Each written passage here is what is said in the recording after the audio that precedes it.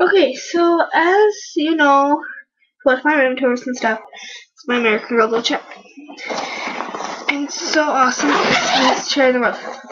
And what it really needs is some nice pillows. As you can see now.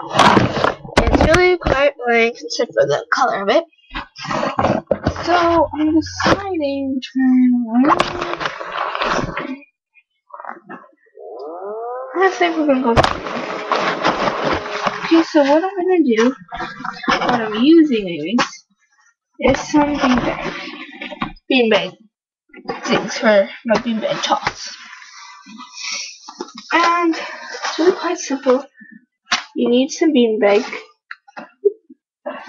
Beanbags that you use for beanbag toss.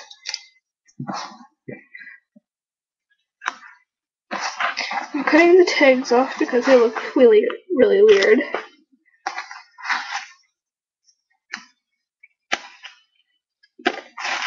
Okay, so now I'm going to put on the prettiest side. And I'm just going to lay them in there. I have three. Okay, and then my American Girl doll has a comfier side or. Or you can like put them down on the bottom and make it like on your butt. Your buttocks. I just put them like on the back, you know? But they're not quite staying because it's a very buoyant chair. It's made out of like silk.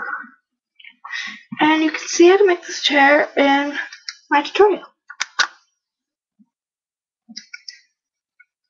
Zooble! Zoobles come to life! Yeah, I got the turtle. I still recommend them, they're so cute. So the reason why I got the kids meal at McDonald's. Now I'm, now I'm like way too old to make kids meals at McDonald's. So bunch of posts coming right subscribe.